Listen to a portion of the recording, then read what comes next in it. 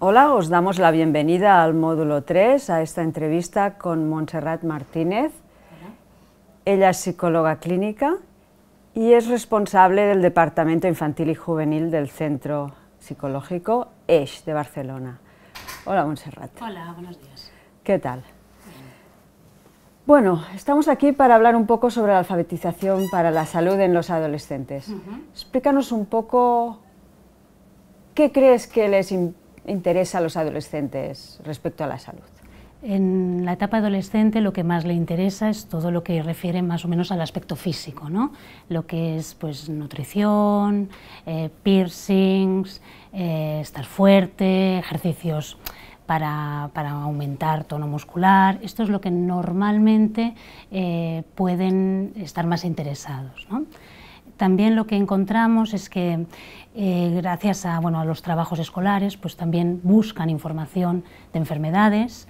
E incluso también nos encontramos en la, en la, clínica que preguntan aspectos de enfermedades de algunos familiares, ¿no? enfermedades tipo cáncer, que, Alzheimer, de, los abuelos.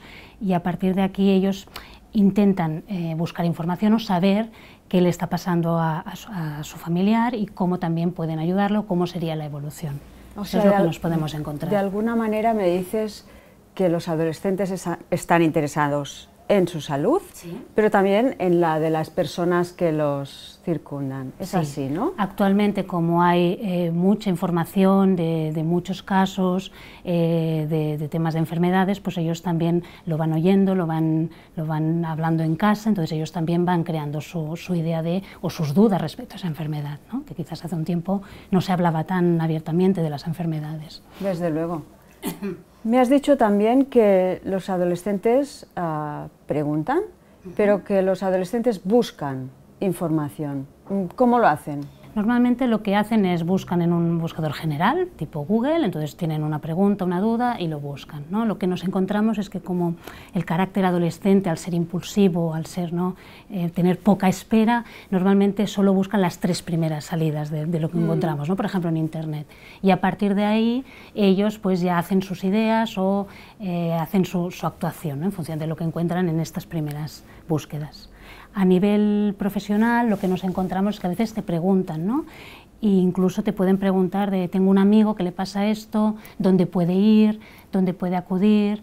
Entonces aquí los que, los que trabajamos con adolescentes directamente vemos ¿no? que ya no solo preguntan por ellos, sino también incluso para sus amigos. ¿no? Por ejemplo, en los temas de salud.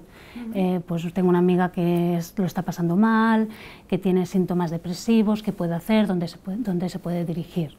Y eso a veces incluso en los psicólogos escolares también se encuentra, ¿no? que los niños van a consultar aspectos ¿no? relacionados con la salud claro. O sea, te preguntan qué puede hacer, eh, dónde puede ir. ¿sí? Preguntan sobre las causas, por ejemplo, ¿están interesados en las causas de la enfermedad? Algunos sí, depende del, tipo de adolescente. ¿no? Hay adolescentes que son mucho más reflexivos, más, a veces incluso obsesivos, ¿no? de saber por qué, eh, por qué me ha pasado a mí y no le pasa a otra persona, podré curarme, no me podré curar. Y en cambio hay otros que lo que buscan sobre todo es ver qué está pasando, ya está, ¿no? y buscar un tratamiento, no el origen del por qué pues, un abuelo tiene una enfermedad o a mí me está pasando esto. Es en función del, del, adolescente, ¿no? de la, de la, del Pero mayoritariamente, de alguna forma me has dicho que lo que se busca más es lo inmediato. Totalmente. Tengo esto, ¿qué es esto? ¿Qué puedo y hacer? qué puedo hacer? Sí. Es así. Ahí está. Vale. También me has dicho que claramente utilizan la tecnología, porque es algo que está con ellos todo el día, entonces rápidamente se dirigen, se volcan a, Google. Totalmente. A buscar. o a Wikipedia también. O a Wikipedia también. también. O sea que también sería una herramienta para poder validar y para, para poder curar la información que ya existe. Vale.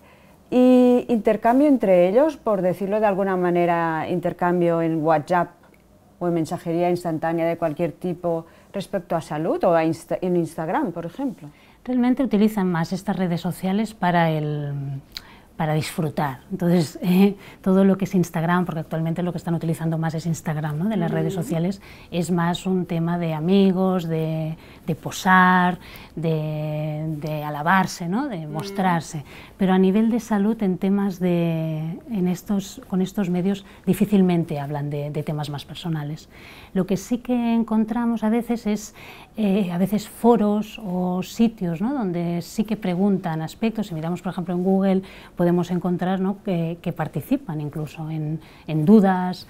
Eh, por ejemplo, lo que también se ha encontrado a nivel de investigación ¿no? es que niños pues, con, enfermedades crónicas pues son más propensos a, consultar y a saber qué tratamientos les ha ido bien a otros niños. Pero normalmente no, utilizan mucho estas redes sociales para el, contacto.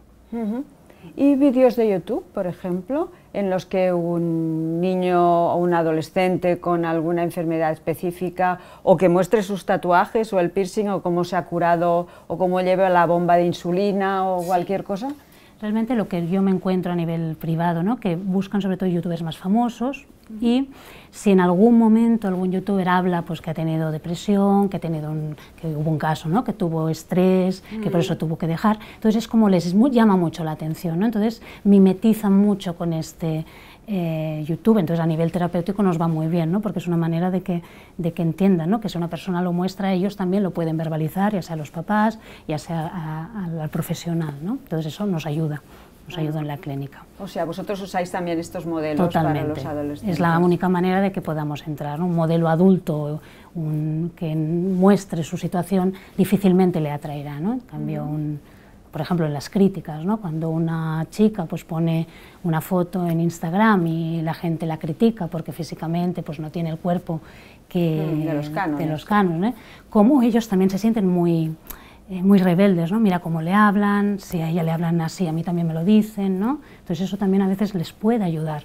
para saber cómo actuar delante de estas situaciones.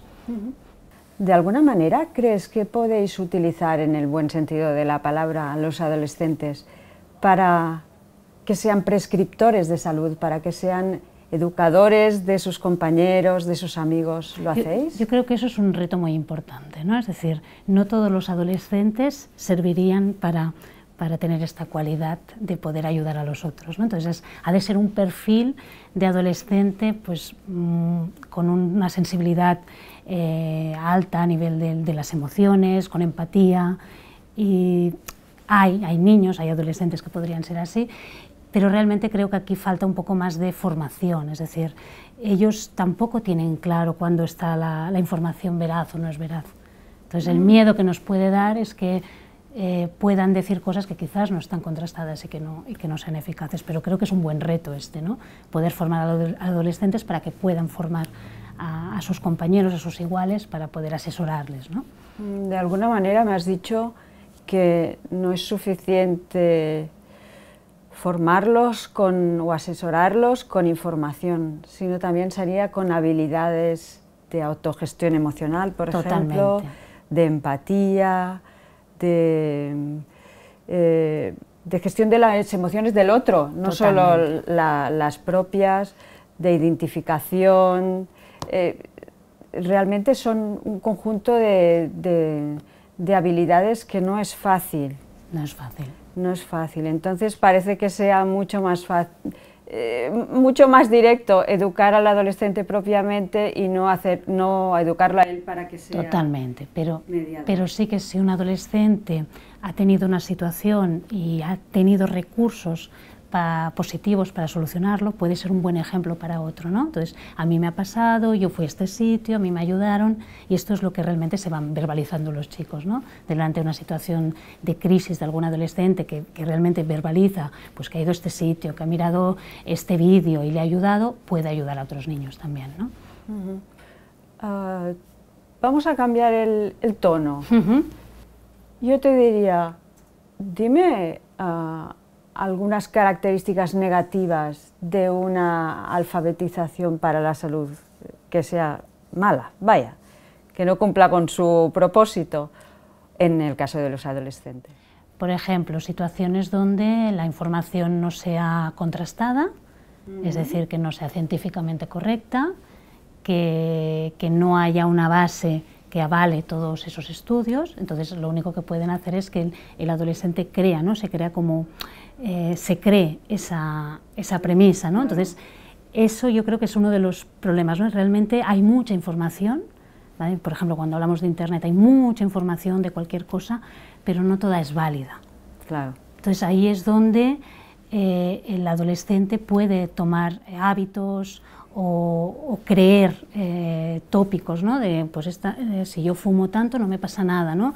Si por un día que haga esto no me va a pasar nada, es normal, eh, que sé, hacerme cortes, ¿no? Entonces, todo esto es una información que pasa muy rápido por, por las redes sociales, por, por, por, internet, ¿no? Entonces, esto es lo, yo creo que es una de las, de las críticas que puede haber a estos recursos tan, que tienen tan, tan acceso tan rápido, ¿no? Claro.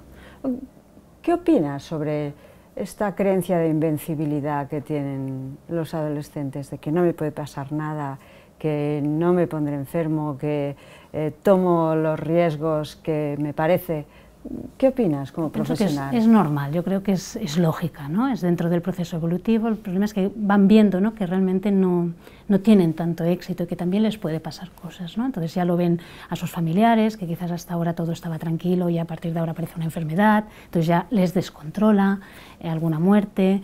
También ven que hay amigos que, que tienen enfermedades, que sufren y hasta ahora pues es lo que he verbalizado antes, ¿no?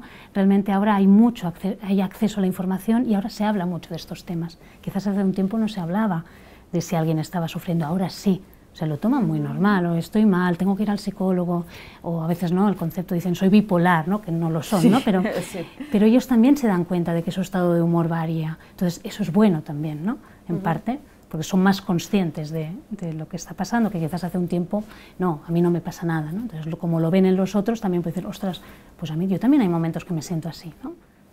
Está bien eso que comentas, que hemos ganado con los años, hemos ganado capacidad de introspección, de conciencia de uno mismo. Estas son habilidades que antes igual no se educaban tanto en los niños y en los adolescentes, pero que ahora sí que han cobrado un papel importante como habilidad para la vida y para la gestión de la vida. Echar también en tipos de series ¿no? destinadas a los adolescentes que se hablan de temas que hace años no se hablaba.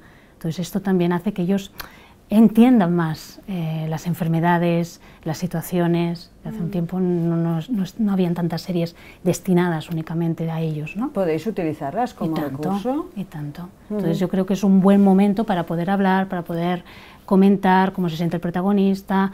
Incluso también hay veces que podemos ser críticos ¿no? con esta serie o creo que se habla demasiado de este tema y quizás no es tan exagerado al menos que ellos vean que existe la posibilidad de, poder hablar y, de, que existen ¿no? estas situaciones.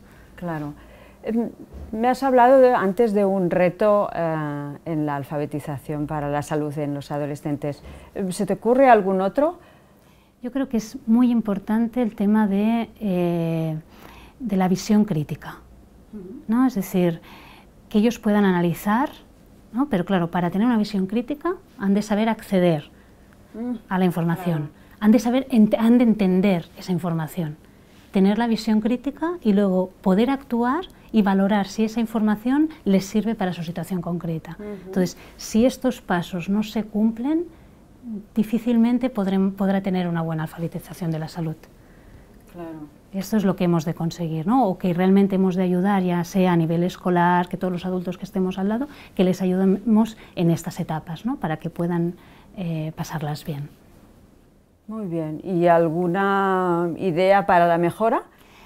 Eh, yo creo que es muy importante que tengamos en cuenta a los adolescentes cuando tengamos que idear recursos para ellos. ¿no? Muchas veces ideamos recursos para los adultos y creemos que ese mismo recurso va a servir. Y realmente utilicemos a veces lenguajes muy diferentes. ¿no? El, el adolescente necesita cosas cortas, simples, cosas multimedia y no necesita tanta información. Entonces, quizás si podemos elaborar pues, programas educativos, eh, recursos en, línea, que ellos puedan dar su opinión, tendrán mejor acceso ¿no? y realmente serán más útiles. Lo que las investigaciones también nos vamos encontrando, incluso en la investigación de, de, SINET que hicimos, veíamos que también en función de si era chico o era chico, independientemente también de la edad que tenía, buscaban cosas diferentes en una web ¿no? Para, de salud. Entonces, hemos de tener en cuenta la edad, hemos de tener incluso en cuenta el sexo, el, género y también pues eh, qué etapa tienen, ¿no? porque también hemos encontrado que niños que están sufriendo, que lo están pasando mal, buscan en Internet. Entonces es importante pues, que tengan este acceso y, que esté muy dedicado a ellos, ¿no? a lo que ellos pueden entender. O sea, en este caso ha quedado claro que es importante eh, cuidar todo nuestro trabajo de alfabetización para la salud a nivel presencial y a nivel virtual. Totalmente. Si no lo integramos virtualmente, yo creo que no servirá. Ellos viven con el tema Internet y viven con todo lo, virtual. Es muy importante. Y también pensamos que si ahora con esta edad ellos van cogiendo la autonomía, eh, lo que es la conciencia de decisiones, eh, todo esto también va a ayudar a que realmente sean adultos, que sepan tomar decisiones. Es ahora la edad crítica para ser autónomos a nivel de su salud. Hasta ahora eran, estaban cuidados, ¿no? ahora no. Entonces, si ahora esta etapa eh, dedicamos tiempo, dedicamos esfuerzo, eh, serán adultos que sabrán dónde buscar y, tendrán una visión crítica también de lo que hay en, Internet o lo que realmente la gente les dice sobre la salud. ¿no? Perfecto, me encanta esta idea de la continuidad a lo largo de la vida. Muchas gracias, Montserrat, gracias por, la entrevista. Y bueno, lo dejamos aquí. No os olvidéis de utilizar nuestro hashtag AlfabetSaludWalk para compartir todas aquellas ideas, dudas e incluso preguntas que queráis hacer llegar a Montserrat. Gracias.